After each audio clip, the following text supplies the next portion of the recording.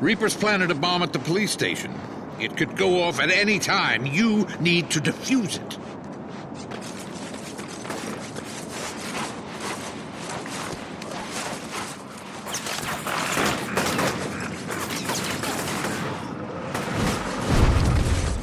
I bet if everybody could see this, they'd cheer.